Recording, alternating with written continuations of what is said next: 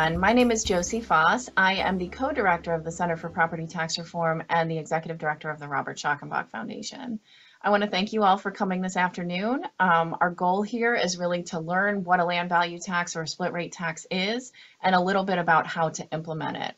Um, so our program is going to be in three parts. I'll start us out. Um, we'll talk a little bit about traditional property taxes just so that we get the lay of the land, so to speak. Um, then I'll introduce kind of the underpinnings of land value tax, its expected effects, um, and a little bit about how to implement it. Then I'm going to turn it over to my co-director, Josh Vincent. Um, Josh has a huge amount of experience implementing land value tax and split rate tax in the real world. So he's going to draw on that um, to walk us through some, some implementation experiences. Uh, and finally, we'll turn it over to our geospatial full stack developer, uh, Mike Ward. Mike is going to do a little tour of a tool that we've developed called the TaxShift Explorer. The TaxShift Explorer is kind of um, the ultimate window into land value tax in that it allows users to look at the actual effects of implementation sort of at the municipal level and then drilling all the way down to the individual parcel level. So let's start with a little bit about um, property taxes. What are they? So first and foremost, property taxes at the local level are extremely important. Um, they generally form the backbone of municipal budgets. I think the typically, you know, 70% or more of those budgets do come from property tax revenues. The particulars of how the tax is levied vary a lot across jurisdictions, um, but in order to levy a tax of this sort, you have to have valuations of every single parcel in the municipality. So that's sort of the basics, right? Um, most of those assessments or most of those valuations are done using computer assisted mass appraisal software or CAMA software. And that software essentially uses um, value data. Sometimes it's MLS or sales data. Sometimes it's not. It, it kind of depends on the jurisdiction um, to create or represent comparables. And those parcels are then used, or those values and characteristics are then used to impute the values for every other parcel in the jurisdiction. The goal of property tax assessment at its most basic level is to create fair and equitable assessments for all property owners. And that is, you know, as we would want it to be. Um, so CAMA models are often really key in doing that. Um, but the other thing that's key in doing that is a whole lot of testing to try and detect bias in the distribution of assessments. And so bias looks like um, instances where there's a departure from that sort of equitable ratio of property value to tax bill. Um, so that's going to become uh, an important concept when we get a little bit farther into the presentation and talk about the benefits of a land value tax. Functionally, those assessments consist of two pieces, right? The value of the property's land and the value of the property's improvements. So land is, as what it sounds like, it's the land. Uh, it's what you generally stand on and build on. Um, the improvements can be buildings, they can be, you know, significant alterations to the land, um, but most often and most familiar, they're things like houses and businesses, um, so structures that people have, have built. Typically in an assessment aims to have accurate values for the improvements and for the land. So the holistic numbers should reflect market value, but when you digest it into those two parts, you want to see that the portion of it that repre is represented by improvement value is accurate and the portion that um, is land value is also accurate there's a little bit of a departure that often happens in the assessment profession when it comes to that, and it can be problematic or at least something to be aware of in implementing land value tax, which is that sometimes assessors shoot for that overall number to be accurate. They always shoot for it to be accurate. But when it comes to the division of what of that total is constituted by improvement value versus land value, sometimes land value becomes a residual. And by that I mean we have an accurate total, 80% of that total is going to be assigned to the improvement value and 20% is going to be assigned to the land value. And so it's actually a pretty common practice. It's obviously a rule of thumb that's probably, you know, generally defensible, but when you get down to the level of the individual parcel, things may fall apart. Um, so when you're applying a single tax rate, it's really not an issue. Um, when you're applying different rates or only taxing land, which is what we're talking about today, it can become a little bit of an issue. And then in extreme instances, um, we're actually seeing assessment data where there are no land values. So um, right now I'm thinking specifically of New England uh, condo, residential condos. And so when you let look at their tax data, they will have a taxable amount. Um, but when you look one step farther, the entirety of that taxable amount will actually be the improvement value and land is valued at zero, which is, um, you know, which is a choice. Obviously, condos are not floating in the air. They are actually on land. And so um, that again is something to, to realize or to be uh, mindful of uh, when you're looking to switch to a land value or a um, split rate tax. So calculating an individual's um, parcel's bill is actually really straightforward. So you take that total valuation, land and improvements, and you apply a single tax rate to it. That gives you the tax bill or the tax liability. And that's how traditional property taxes um, are, are, are calculated. It obviously it gets a little bit more complicated in the real world because you have things like exemptions and abatements that affect people's tax liabilities. And then often uh, taxing jurisdictions kind of complicate matters further. Um, for example, thinking about New York City, there are different classes of properties in New York. They have each has a different tax rate and that rate is applied to a different portion of the overall assessment for each of those classes. And then you have abatements and exemptions on top of that. And as you can imagine, um, it gets complicated pretty quickly. Um, so how is a land value or a split rate tax different from a traditional property tax? So this is obviously um, something that, that we're focused on today. So let's get right into it. Let's start with the definitions because they're related um, but the nomenclature here can get a little bit muddy depending on who you're talking to. So I just want to be really clear about uh, when I'm using terminology, what I'm referring to. So a land value tax or a true land value tax, um, as, as I call it, uh, is basically a methodology for calculating a tax liability, which relies on applying that tax rate to the land value alone. A split rate tax is sort of a hybrid of a traditional property tax and a land value tax because you are taxing improvements, but you're applying different tax rates to the value of the land versus the value of the improvement. So if you look right over here on the screen, you'll see essentially how to calculate those two things. And then this is just a little graphic um, that we've developed. This is on our website. I think we've put it out on social media as well um, to help illustrate these concepts. So in the middle is a traditional US property tax where we have a single tax rate applied to both the improvement um, and the land values summed together. On either side of that, you have split rate taxes. Um, the side that's highlighted in that like light blue is really the area where the Center for Property Tax Reform focuses because that is the area where the portion of the bill that derives from land value is higher than the portion from improvement value. And then all the way over on the side where you see that sort of floating chunk of land is what we're calling a true land value tax, which is where only the assessed value of the land uh, is going to receive a tax bill or the tax bill is calculated only on the assessed value of the land. Okay, so let's talk about some of the key takeaways around a land value tax. I think one of the biggest and one of the ones that needs to be kind of addressed first is that generally a land value tax can be can be created using current assessments. And this is huge. So obviously the assessing profession is very old. There's a lot of individuals involved in it who are, you know, highly professionalized, who have a lot of experience, who have tried and true methodologies and the data they're producing are great. When you start talking about touching a property tax system, those folks naturally may have an allergic reaction. So one of the first things to do is to realize we're not reinventing the wheel, okay? You already have your assessments.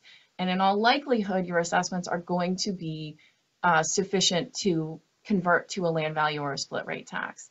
Um, couple instances where they where you may need to do a little bit digger, deeper digging or more thought maybe need to need to be given um, would be instances like the New England condo example where you don't have land values. Clearly, if you're taxing land values that are all zero, then those property owners are not going to be taxed, which is not the intention here. So you do want to be sure, you know, that your your assessments are accurate and unbiased. Um, but a lot of them or most of them are. And so when they are, a land value tax um, is a viable option. The next thing to highlight is that it's not that hard. So we saw those equations right at the beginning of how a traditional property tax is calculated and how a land value tax is calculated. It's simple algebra. Um, so this is not, again, this, this should not take anybody out of their comfort zone or be too hard to understand. Um, although there are a lot of nuances to it and a lot of best practices that you want to be mindful of. This is not uh, rocket science. This is a big one. Every single tax bill will change when you switch from a traditional property tax to a, you know, to a land value or split rate tax. Just as every tax bill generally will change with a reassessment. Um, if your value changes, your tax bill changes. Um, but here it's not simply a reassessment, which folks are, you know, may not like, but because values tend to go up, um, but they're generally familiar with. Here you are literally rejiggering your tax code. And so changing every tax taxpayer's bill is something that you just need to be aware is going to happen. So why would you do this? If you're using your existing assessments and it's simple math, uh, but it changes everybody's bill, why the heck would you bother with this? Uh, so let's spend some time talking about why, because there's some really compelling reasons. One of the first reasons is that a land value or split rate tax disincentivizes land speculation.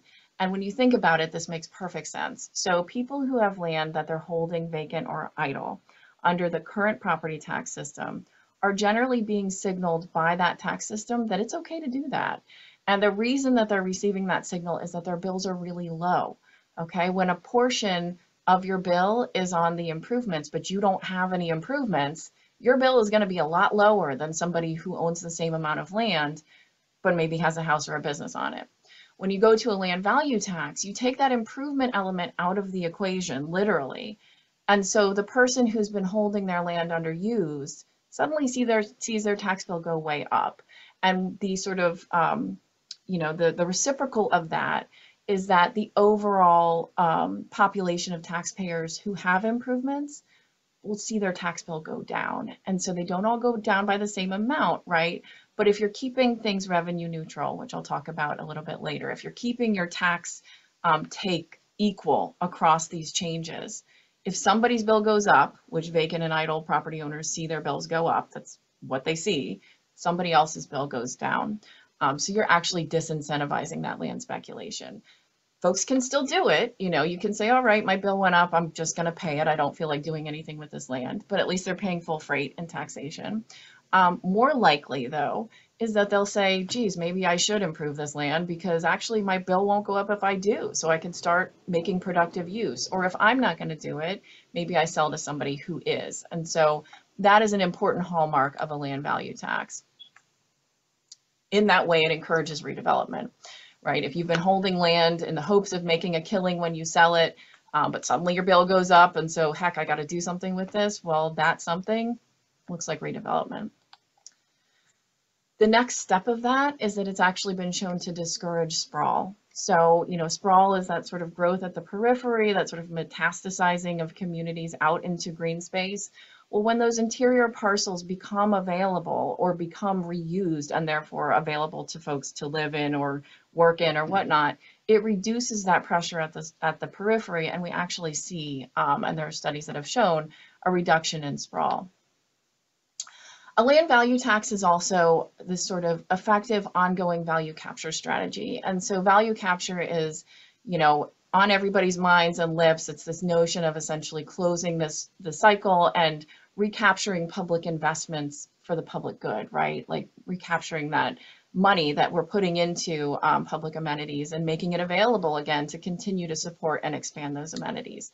Property tax in general is pretty good at doing that a land value tax is actually even better at doing that. And it makes sense when you think about it. So improvements are the product of people's labor, right? And personal resources and investment. So if I'm building a house or an addition on my house or a business, like that's coming out of my pocket, I'm doing. Um, the land is different though, right? Because land isn't something that we've built. I mean, we may improve it, we may, you know, do things to grade the land or whatnot, uh, but the land pre-existed us and in all likelihood, the land will far outlive us, right? So it's a different animal, it's a natural resource. The value of land also, in large part, derives from where it is and what it gives you access to. So we've all heard that adage location, location, location in real estate, right? Mostly what it's saying. Now, if it's beachfront property, you know, there's some exceptions, but a lot of what that's talking about is the public amenities that you have access to by virtue of owning that land. So if you have valuable property, chances are that property has, you know, good public services, good roads, um, public safety, public schools. It gives you access to entertainment and jobs, um, sort of those things that are not solely the product of the property owner. And so as that aspect of the property becomes more valuable, it typically reflects public investments that that the property owning the property gives you access to. And so those more highly valued properties pay more because their land is worth more because the land benefits from more of these public investments. And so in that way, you do have this sort of virtual virtuous cycle. Land value tax and split rate taxes also tend to be more progressive. And this is something that you, again, like you, you never want to just pull the trigger, not that you really even could, but on one of these tax changes without really understanding exactly what's going to happen on the ground and what's going to happen with people's tax bills. But generally what we see is that when municipalities switch from a traditional property tax to a land value or split rate tax, um, that the individuals with lower value properties, who tend to be lower income folks, are paying a proportionately lower part of their resources into property tax than people with the more valuable properties who also tend to be more affluent. And so there's certainly an equity issue in play as well.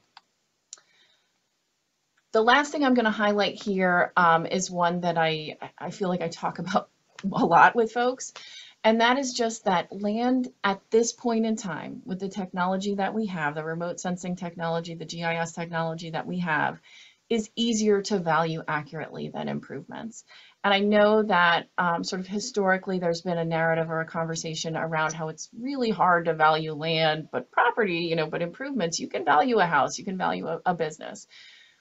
Now though, land is completely visible to all of us in this sort of unobstructed way right? Um, improvements just aren't. So we talked about the use of CAMA modeling, of the sort of um, imputing values through comps. Well, that's great. It's obviously dependent on finding good comps, but it's also dependent on really knowing what's inside those structures. And it's hard to do if you're not going around knocking on people's doors, which by and large assessors don't do. So, you know, there's all kinds of workarounds. There's, you know, third party software companies that monitor Airbnb or Vrbo and contact the assessor and say, hey, you know, this is listed, you have this as a two bedroom, but they're trying to rent it out as a three bedroom, you know, th those kinds of things. But boy, oh boy, that's a lot of work, right?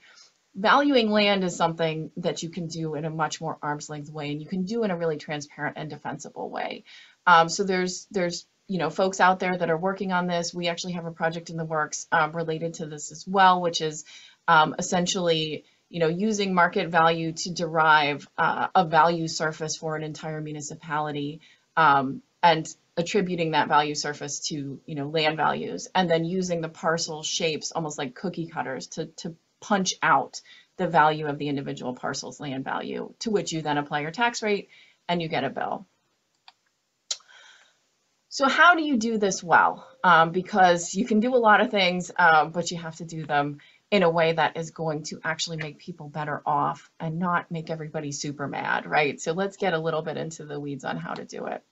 The first thing is that you have to have accurate assessments. That's really, really key. Now, obviously, if your assessments are inaccurate and you're levying any kind of property tax, um, you know, that's going to be an issue. So this is not unique to land value tax, but because a land value tax or a split rate tax divorces land value from improvement value, you really have to be certain that your valuations are accurate for the land value piece of it.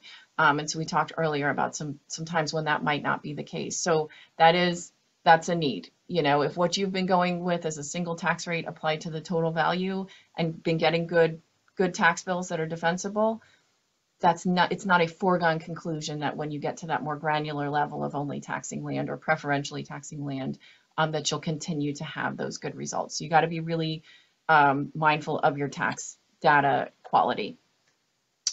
We also recommend very strongly that you roll this out in a revenue neutral fashion. And what that means is that whatever you, whatever your total tax take from property tax was prior to implementation, you should aim to have that be the same when you initially roll out your implementation. Okay, and we talked about the fact that everybody's tax bill changes that's already enough of upsetting the apple cart. You don't want to then on top of it say, oh, and we're also bringing in more revenue. You just, you're working with a lot of constituents when you're doing this work and, you know, you've already set enough things in motion. The other piece that we also recommend is that when you're doing this, you roll it out in sort of a stepped fashion.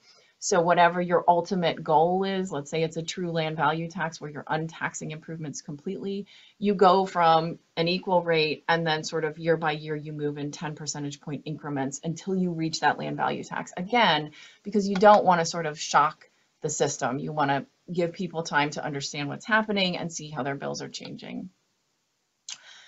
You also want to understand those immediate impacts, and that is where the tool we're going to look at at the end, the Tax Shift Explorer, really comes in handy or something analogous to that.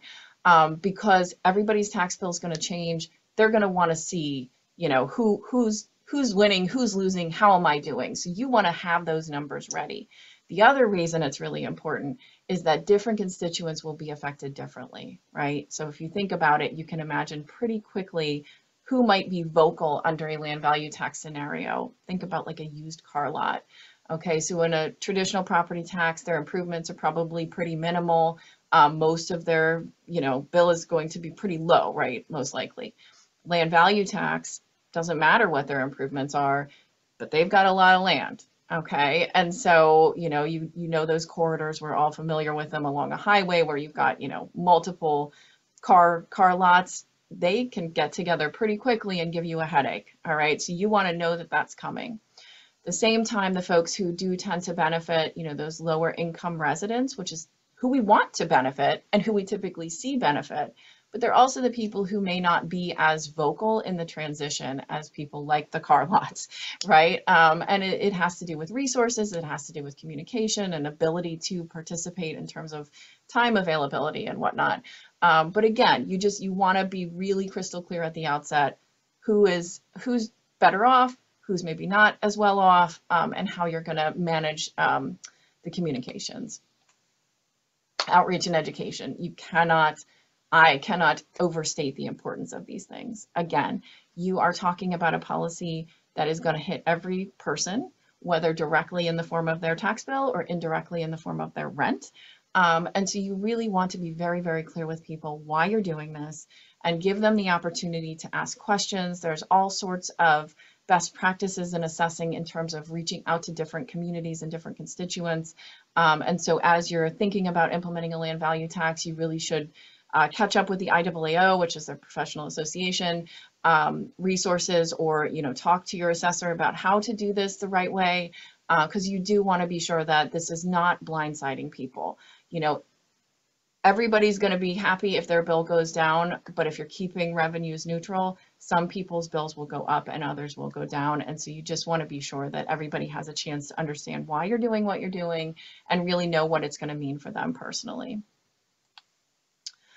Okay, so that's it for me. Um, thanks so much for listening to this part of the presentation. I'm going to hand it over to my colleague, Josh Vincent, who is the co-director of the Center for Property Tax Reform and the executive director of the Center for the Study of Economics. Thank you.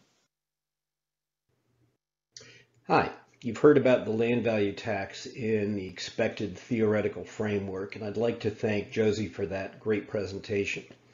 I'm here to talk about how it's implemented uh, what are the results and what are the expected hope for outcomes.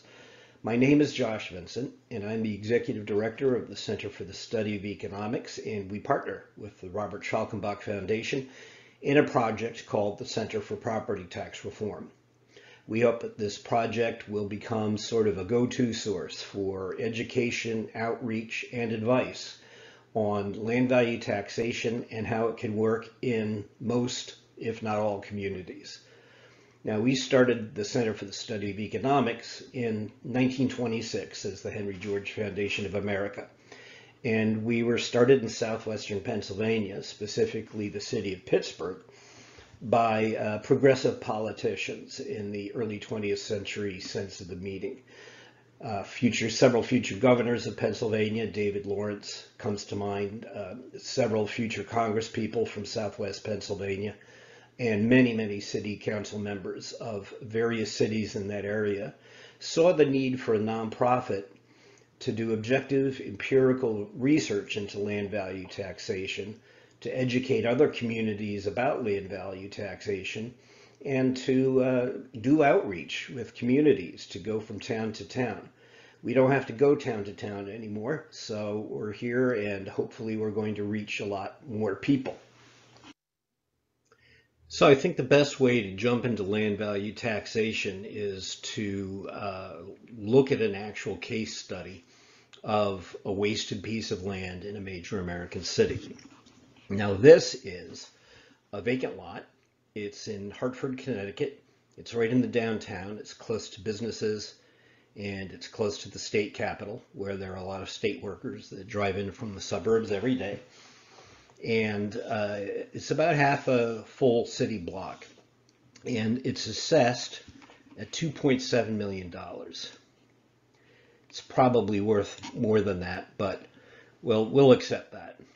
And uh, it used to be a Hilton hotel was on this site until about 1980, and then it was demolished uh, to save on taxes.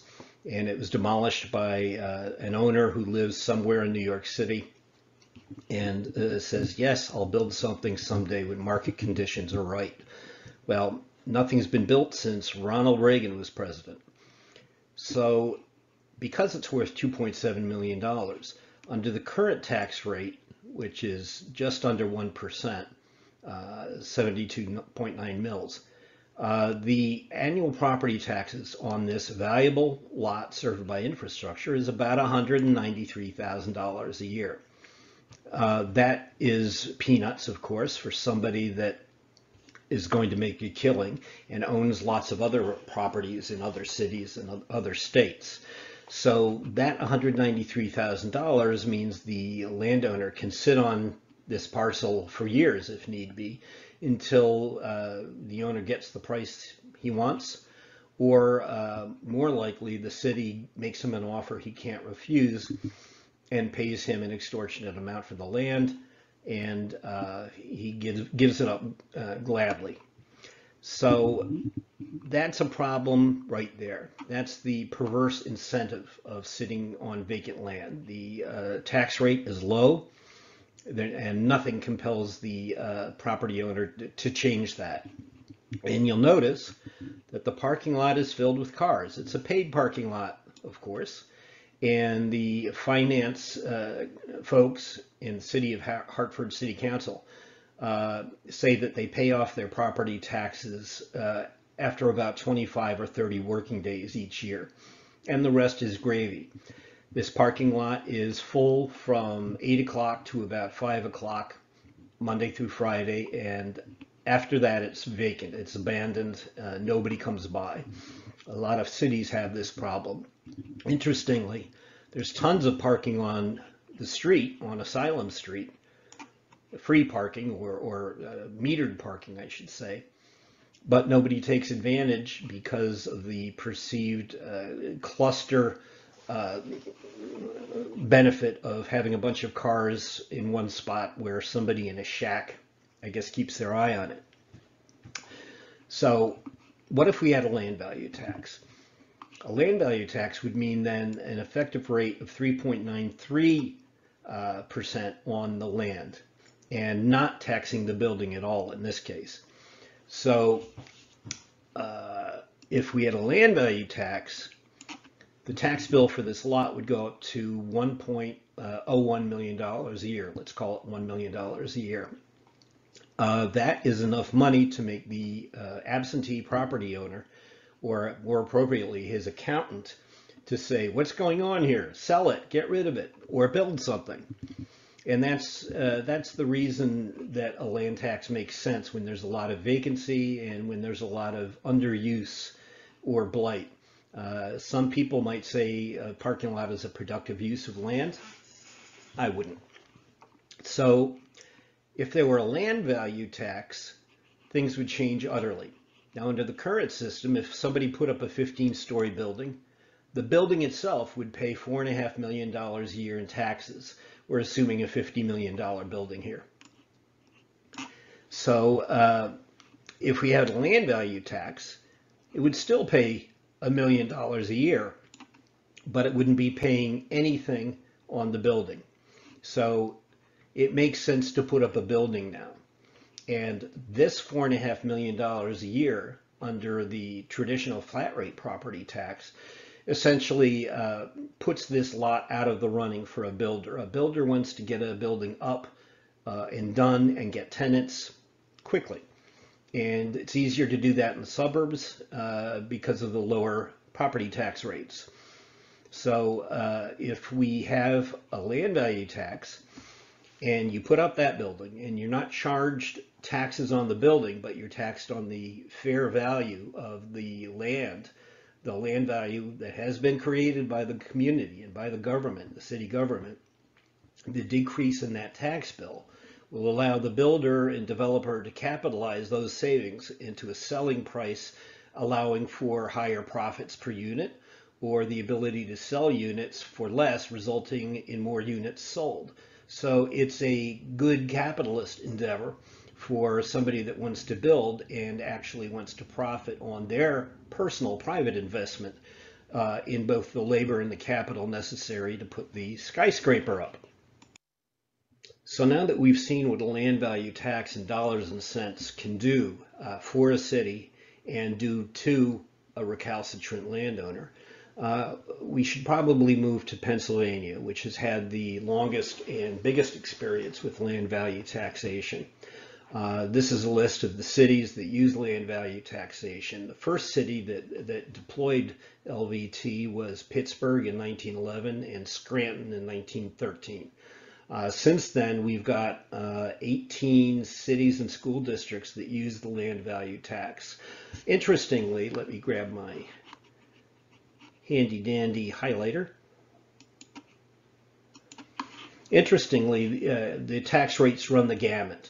Uh, in a place like uh, Duquesne, for example, the tax rate is 15 mils on uh, buildings and 20 mils on land. Really not much of a difference. The ratio of, of land tax to building tax is 1.3 to 0.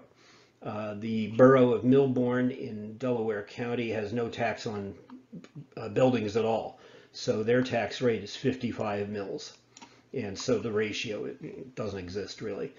Uh, but as you can see in places like uh, Clairton and in Aliquippa and uh, Washington, Pennsylvania, and uh, even Harrisburg, the ratios are generally about 5 to 1 or 6 to 1 of uh, land tax to building tax.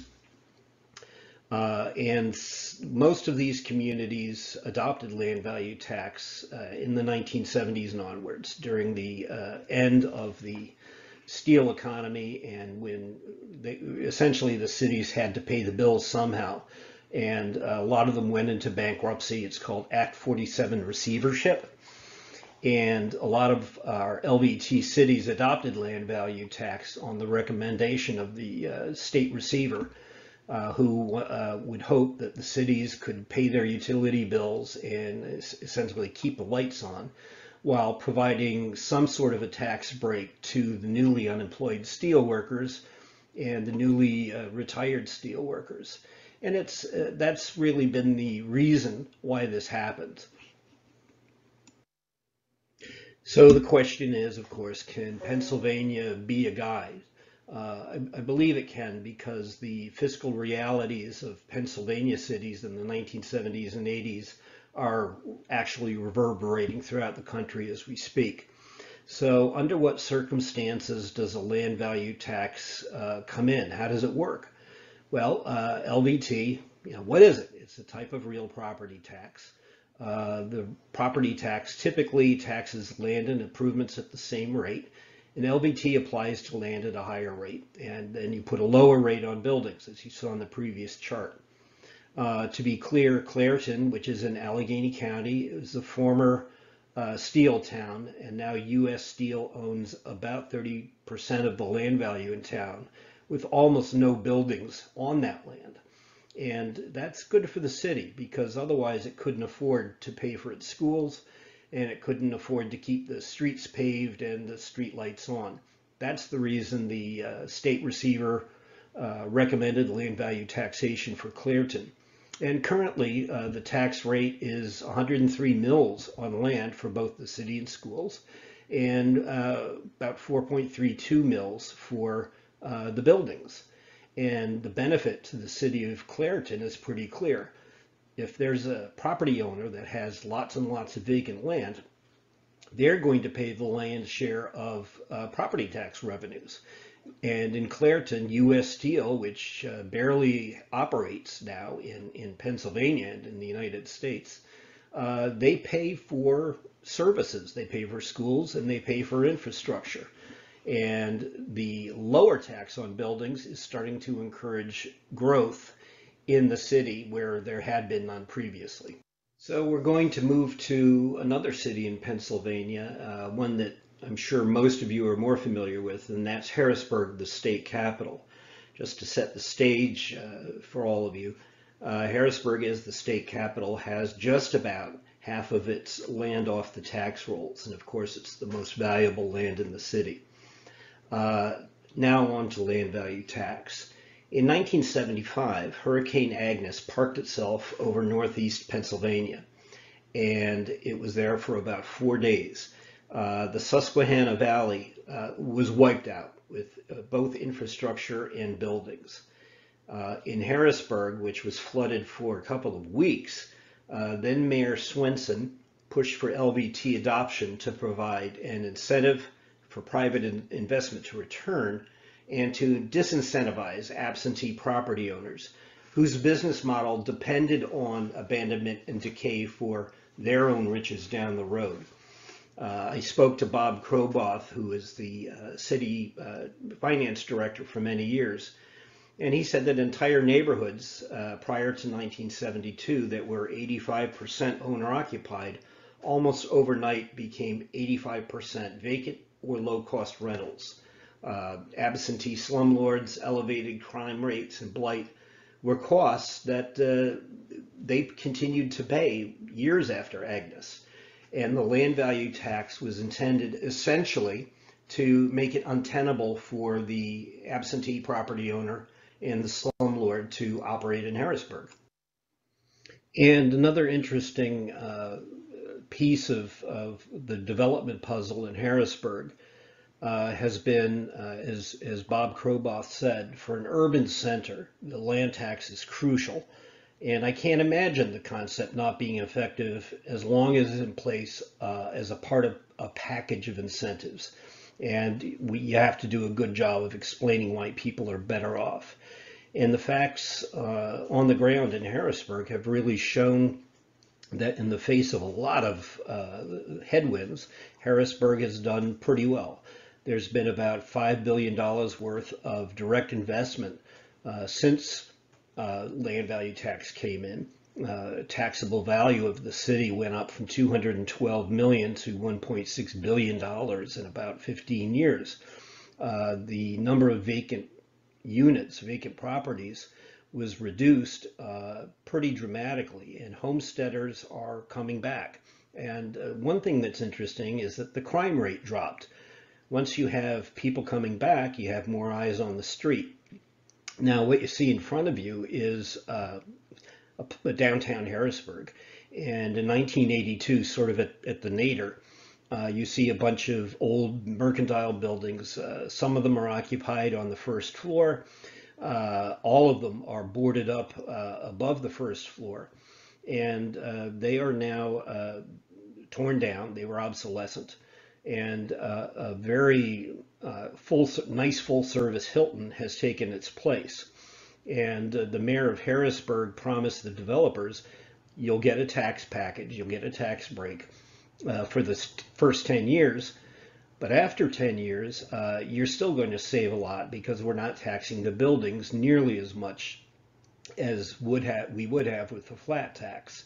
So uh, he believes that convinced uh, the, the builders to make it a better, nicer, and bigger hotel. Uh, other state capitals like Albany, Hartford, uh, Richmond, Trenton, uh, they struggle and have to subsidize, they have to sweeten the pot for growth.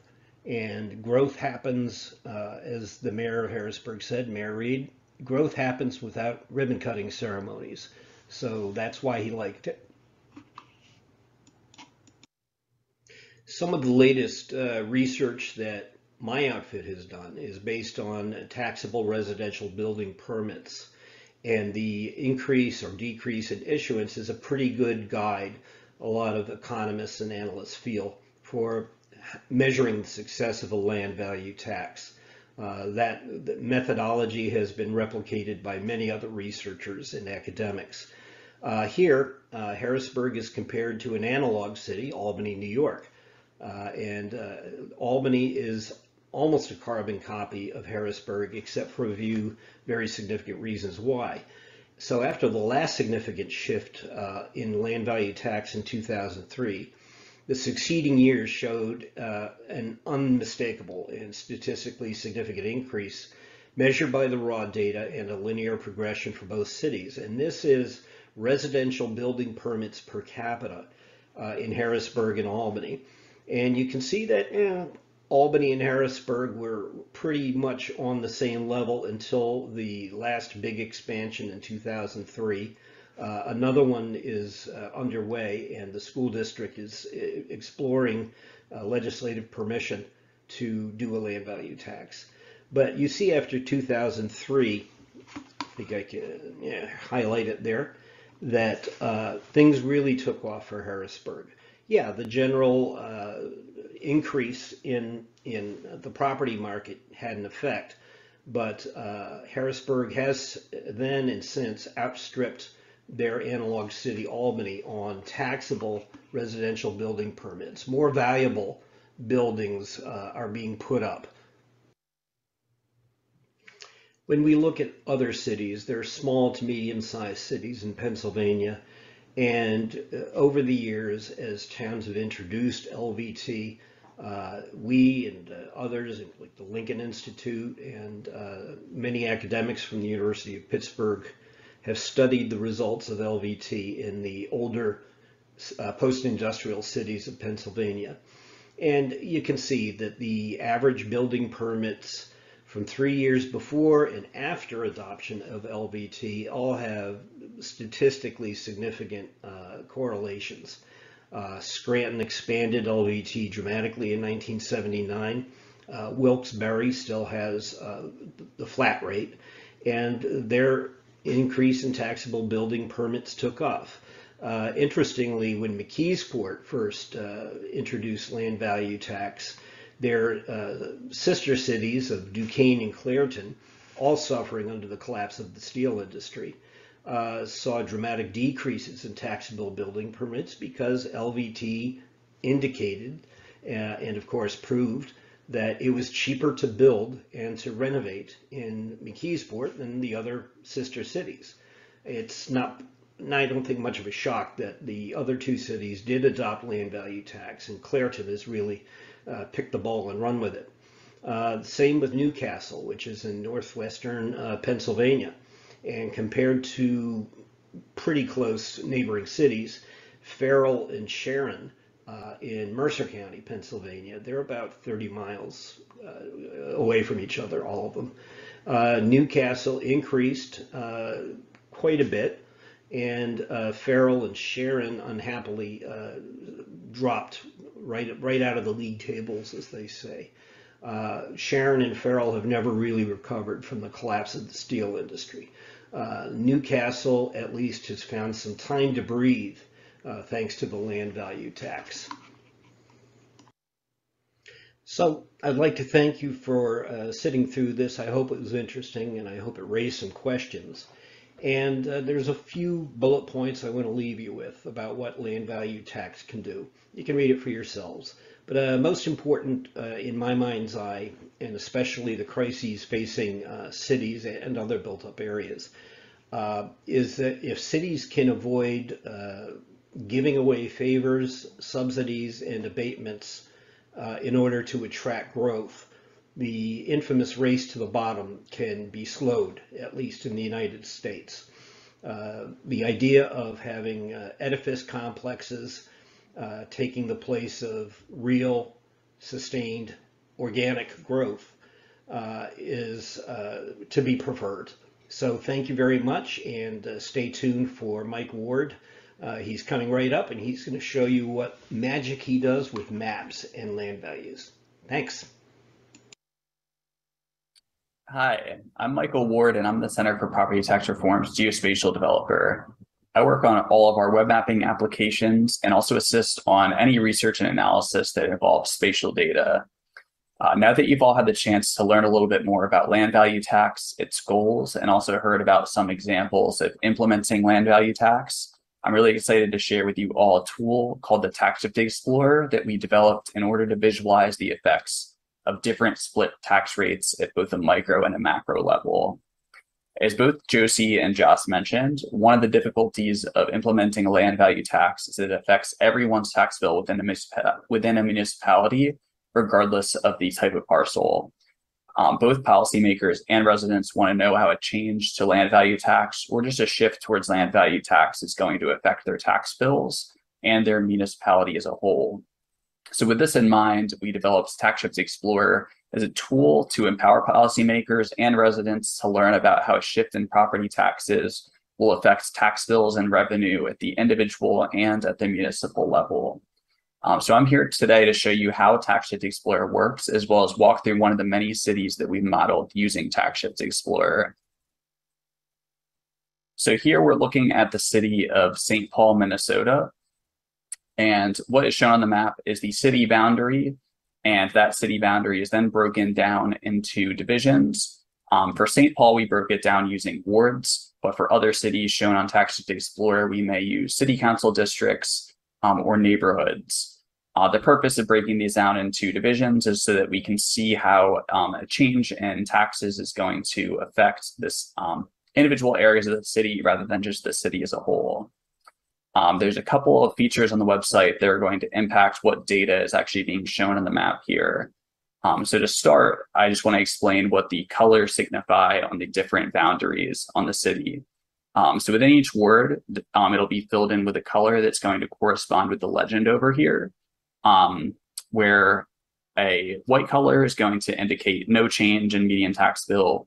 Warmer colors are going to indicate an increase in median tax bill, and cooler colors are going to designate a decrease in median tax bill, where it will be filled in black if there is missing data for that area. Um, so as far as what's actually going to show and impact the changes in median tax bill, the main factor is going to be the slider down here, which is used to adjust the percent revenue garnered from land tax. Um, for each city, um, many already do derive a percentage of their revenue from land value tax. In this case, if you look up at the top here, St. Paul derives 25% of their current um, tax revenue on property taxes from land tax.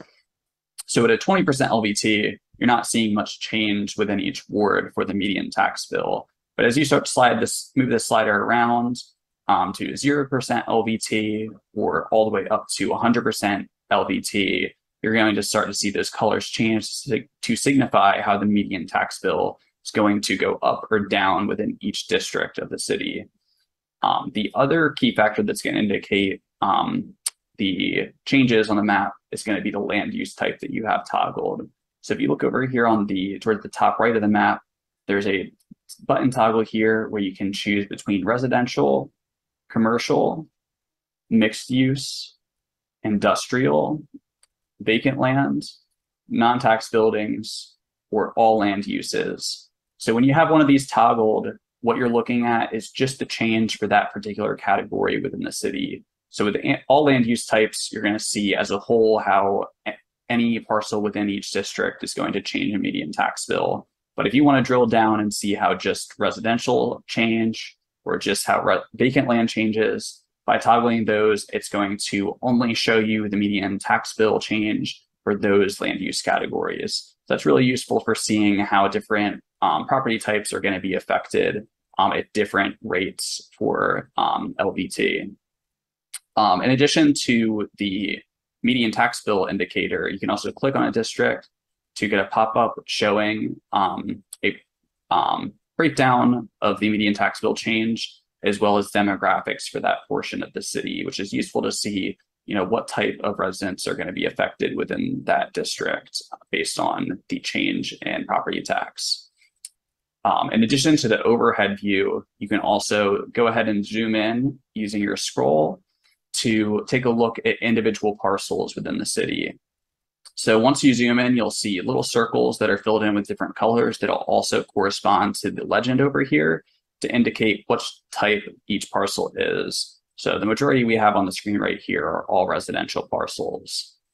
Um, once you have a parcel in mind that you wanted to find out more about, you can click on that parcel and it's going to give you the address as well as the assessed values for land tax and improvement tax, um, the actual tax bill, and then a small chart giving you a breakdown of how this specific parcel's tax bill will change at different um, LVT percentages.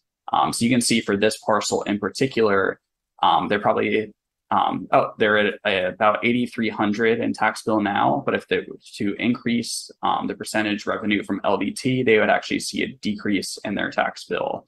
Although that might not be the case for all residential properties, depending on what their assessments are for improvements and land value. Um, that mostly covers all of the functionalities on the map.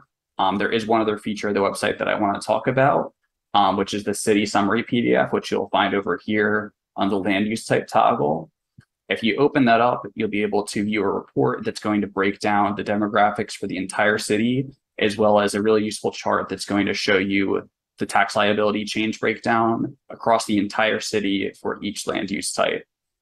Uh, as mentioned previously, the LVT is designed to be revenue neutral. So you can see no matter the LVT percentage applied on this table, the total tax liability remains pretty neutral across the board.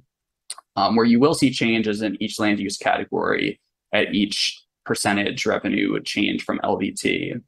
Um, so at 100% LVT in St. Paul, you'd see a 13% decrease overall in um, revenue and tax liability, um, with a large increase um, being put onto vacant land and non-tax buildings. Um, this also this report goes on to break this down um, via demographics and this table across all the awards or in other cities across the council districts or neighborhoods. So you might find this report useful if you want to see more of a macro view of how this um, total city is going to change or how a specific district within the city is going to change. Um, that about wraps up what I wanted to cover in terms of how to use TaxShift Explorer and what you might find useful on it. I want to thank you all for your time to learn about LVT and the tools that we've developing. Uh, at this time, we'd like to open up the floor to um, discussion and questions that you might have. Okay, perfect. All right. Well, thank you all for coming. Um, I see we do have some questions in the Q&A, so uh, we're going to get through as many as we can in the time that we have. I know we started a couple minutes late. Um, so the first one, uh, which I think Josh sort of addressed a little bit in writing, but it's worth a discussion, um, came from Ronald uh, Menick. Once an LVT or split rate tax is implemented, then the overall market value of the property is expected to decrease. So there's endogeneity occurring, and this would affect estimation of the land's value once an LVT or split rate tax were implemented. So Josh, do you want to kind of share your thoughts on that question? Because I know there's a similar, not identical, but similar question farther down around decreases in land values or property or property values as a whole. Yeah, um, I would because uh, a lot of people that have talked about the land value tax over the past 100 some years have uh, said that there's an ironclad rule that a land value tax will lower property values. And I'm not so sure that's true. I know that Nick Tideman of uh, Virginia Tech uh, took a took a hard look at this, and so did Stephen Bourassa, uh, University of Pittsburgh. And this was some years ago. But uh, in real life, you're creating a universe called the city. And in that universe, if you're reducing other taxes, then that's going to make the land values, I think, at the very least, stable. Um, I think there's a good argument that the building value will decrease uh, simply because you're not taxing that value. You're removing that, that factor. So um, I, I, I, think that if if we think about the realities of picking a, a laboratory for experimentation and it is a city or a town, that its behavior is going to be uh, different from the larger economy. I hope that helps. Yeah, I would also just add um, that there were some studies done in around 2020, so pretty recently, of the Pennsylvania experience. So, like, what has happened on the ground in Pennsylvania since these policies have been adopted, um, and what they found. And they're on our website, um, and I think we can probably share out that doc after the event. Uh, but what they found was that actually residential home prices and commercial real estate prices did actually tend to increase after the implementation of the policy. So, you know, I've heard a lot of talk around this notion of depressed values in response to LVT. Um, not sure that it's necessary. It certainly doesn't appear to be a rule. Um, it does seem as if, you know, on the ground, things may play out a little bit differently. Mm-hmm. Um, the next question, I think, um, Josh, you're probably, again, well positioned to answer. How has the transition for assessors been in the case of Pennsylvania municipalities or other local govs uh, that have switched from regular to LVT or split rate systems? Was arriving at accurate assessments difficult? Did appeals significantly increase? Uh, the assessment question, which Josie you tackled in, in, in, your presentation, is it's of course very important because uh, nobody likes assessors. Let, us call it for what it is, and uh, assessors are confident in their total values, uh, and I think they've been trained to not be that confident in splitting land and building values. But in Pennsylvania, uh, and I should say that I'm kind of a political operative. I go from town to town, talk to the assessor, and some assessors say, "Yeah, I, I can easily defend these values." Uh, but a problem with the land value tax is that you put in tax rates based on a set of assessments. And in the case of Pittsburgh, in 2001, the assessments changed dramatically, uh, including the ratio of value uh, between land and buildings. And because of that dramatic change, uh, and unfortunately, was, there was a mayoral campaign at the time, nobody uh, changed the ratio, which was our, our desperate advice to Mayor Murphy at the time. Uh, you have to rejigger your uh, land value tax rates if there's a reassessment. Uh, and I can say that in some places where there's been a reassessment, like Coatesville, Pennsylvania, we had to recommend that they suspend the land value tax simply because uh, the uh, attention paid to uh, residential land value uh, was such that it reduced the commercial and industrial land value. And so uh, the, the direct impact was to increase taxes on poor people. Coatesville is a very poor community. Uh, in Altoona, they blamed the uh, reassessment for the change in the land value tax. Um, but that was more of a political uh, statement on the part of, of, of the mayor and the council. But you have to keep your, your eyes on it. And hopefully, in Pennsylvania, we're getting there. Reassessments are occurring more often. Uh, and they're generally court ordered assessments. Uh, Delaware County, Pennsylvania is a case in point. So yeah, it's a big deal. Some assessors, though, are, are more than happy with it. James Gall in Allegheny County said, "Yeah, we, we can roll with anything."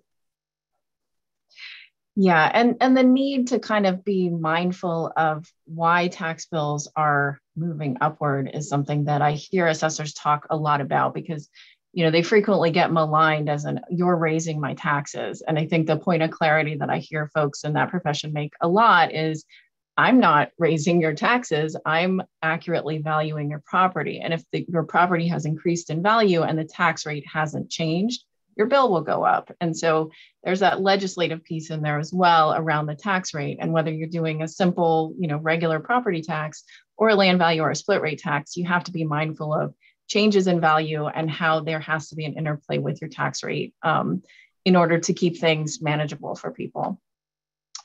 So the next question we have, uh, where can we get legal help to evaluate the legal barrier, barriers to LVT in your town, city, county, or state?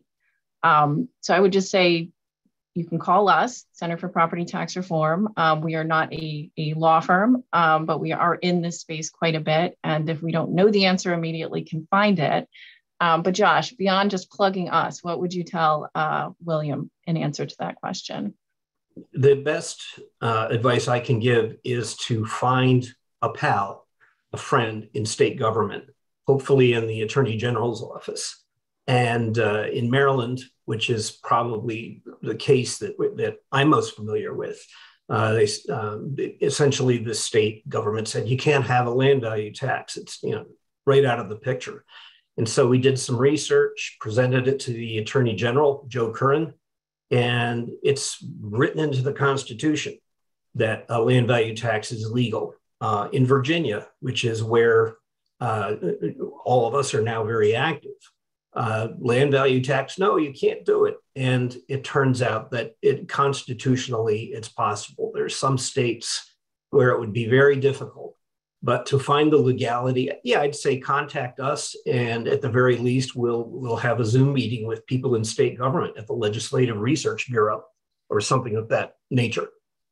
Yeah, I think interestingly, what that question hits on and what you're saying as well is it's it's not necessarily a slam dunk. You know, it really does vary by location, and so the question about there's the question of whether it's a good idea and we're very ready to help you figure that out. And that has to do with you know how different constituents will be affected the quality of your assessments that that sort of thing. Um, but there's this sort of even more foundational question of whether or not you can do it legally. And so certainly you know before you go into the weeds of you know is this a good idea answering the question of whether it's even an option um, is, is the first step certainly um, The next question, so the question becomes, what is the point of diminishing returns if the LVT drives down land values in the future as the need for revenue and tax rates might tend to increase? I think we kind of spoke to this already, this notion of LVT depressing real estate values, questioning whether that's necessarily the case. Um, the other thing that I would just throw out in response to that is sort of a generic answer that you know, again, there's sort of the two things in motion, right? There's the value of the properties and there's the tax rate. So whether your properties are diminished in value because, you know, the market has collapsed collapsed from I don't know a natural disaster or something else, um, or it's because in some instance LVT has depressed those values. That rate is always you know mobile to the extent that that's politically uh, feasible, and so that's a tool in the toolbox um, in that case. Mike or Josh, do you have anything to add to that? Um, I, no, I think we actually got it. Uh, Mike, what do you say? Yeah, I don't really have anything to add to that. Um, to to your comment, Josie. Okay, cool. Um, next one, uh, LVT is also a vi vital uh, climate strategy. UC Berkeley has done some fantastic research showing how infill development can reduce emissions through reduced VMT energy consumption, et cetera. As was noted earlier, infill is a key LVT outcome. Absolutely. Um, so again, we can send to the, the attendees a, a, document that we've compiled with a lot of the recent research. Infill development, specifically right size development, meaning development that looks like the other development around it, is something that has been shown to happen when these policies are implemented. And so you know, it's good from a municipal finance standpoint in that it reduces pressure to extend services at the periphery. And it's certainly good from an environmental perspective. You're putting reducing pressure on green space, reducing habitat fragmentation, sort of redu- reusing land that has already been uh, has been used before. Yeah, if I can give a plug to uh, what Mike is doing. Uh, on the Property Tax Explorer, we have the cities, but we also have, uh, maybe we can send out the link uh, a survey of vacant land uh, and underused land in New York City. And when New York City first starts dealing with this, uh, there's always an assumption that oh, there's no vacant land in New York City, which is could be further from the couldn't be further from the truth. So infill on developable lots is uh, really an untapped resource for affordable housing and and kind of funky organic buildings uh, on weird shaped lots. Yeah, and obviously want to be um, mindful of not squeezing out desirable lower intensity land uses like parks, community gardens. And that's where, you know, you need to kind of fine tune your policy. You know, you can have a land value or split rate tax as kind of your blanket approach. And then of course you want to, you don't want to disincentivize or make impossible those land uses that um, might not be highest and best use in terms of economic returns, but are certainly vital to communities. Um, yeah, so Josh mentioned the vacant land project. We do have some other research. Another thing that we're about to put out is New York City focused, but it has to do with um, LLCs and ownership and land speculation. Um, so that's a really intriguing, discouraging, infuriating study uh, that we're about to be uh, releasing in the near future. Um, the next two questions, Mike, are actually for you, and I'll, I'll sort of give them in sequence because I think you can respond to them together perhaps. So uh, did you have to pay for any of the data inputs to the software tool, or is it based on publicly available data sets? Where might such a tool be able to be applied? And then the other question is, is the Explorer data kept up to date? Yeah, I think those two questions are really related. Um, there's a third question too, which I think is also pretty related, and I can probably answer these all together. Oh, I didn't um, even see that. The, okay. Um, the third one being from Christopher um, asking if we're going to be adding additional cities to TaxShift Explorer. Um, so starting with Ronald's question, um, at this time, TaxShift Explorer is built using all publicly available data sets. Um, most cities offer their tax lot data publicly, usually in like an open data forum or on like a publicly available site, sometimes the assessor's site. Um, and most cities also offer GIS data um, containing the polygons for each parcel in the city. Um, so that's where we source all of our data from currently for Tax Shift Explorer. Um, as far as where you can apply Tax Shift Explorer, can be applied anywhere where there's a single tax rate for parcels. Um, we have encountered issues um, trying to apply in some cities where there's multiple tax rates applied in different districts in the cities um, in the city, like in Chicago. Um, so anywhere where there's just a single tax rate, it's possible to apply Tax TaxShift Explorer. Um, in terms of keeping it up to date, we refresh TaxShift Explorer yearly. Um, most cities update and renew their assessments for um, both land value and um, property yearly. So we try to keep up with that and refresh it on a yearly basis. Um, for adding additional cities, we are looking to add additional cities to TaxShift Explorer. Um, one thing that can be a hindrance to adding new cities is that not, um, as we mentioned earlier, we get all of our data from publicly available data sets. Not all cities make it easy to acquire their data for um, both tax lot data and their parcels. Um, so in those cases, it can be a little trickier to get um, certain cities on a site if they don't make their avail- data readily available. Um, so we have been exploring maybe if there's other options for us getting affordable data for some of the cities where they don't make their data as easily available. Yeah, I would just add um, one of the things that we're looking into doing because obviously, you know, we love the Tax Shift Explorer and it's a really cool tool, but it's very labor intensive because, you know, Mike's Mike is is the is our GIS guru, and he's doing a lot behind the scenes to you know clean the data and make it such that the Explorer can actually do the calculations that it needs to do. Everything has to be uniform. Municipalities' data is anything but uniform. Um, so we're actually right now talking to a data vendor around getting a grant that would allow us to do a more um, probably not as granular, and that has to do with kind of data security, but an interface that would be more far reaching, would allow us to express the information for many, many places much more quickly. Um, and then if somebody were to say, hey, that looks pretty good at first blush, I'd love to learn more, then what we'd be able to do would be to pull the data that's actually not from the vendor, but coming from the municipality itself and have those most more specialized um, conversations and, and calculations. Uh, okay.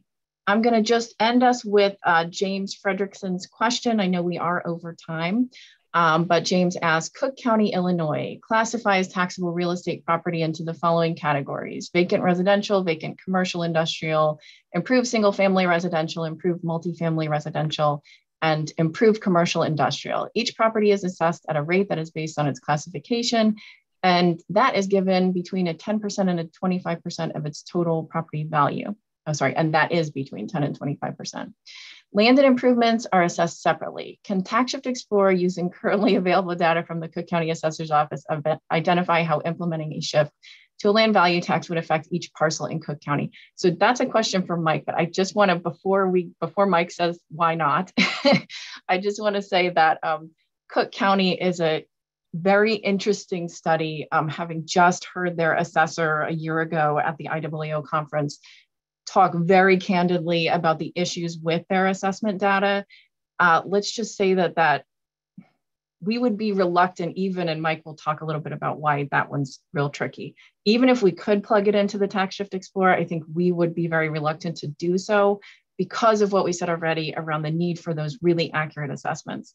So Cook County, as you know, has been in the news. ProPublica did a whole number of stories on just how bad their property taxes are in terms of the accuracy of the assessments. And they were right.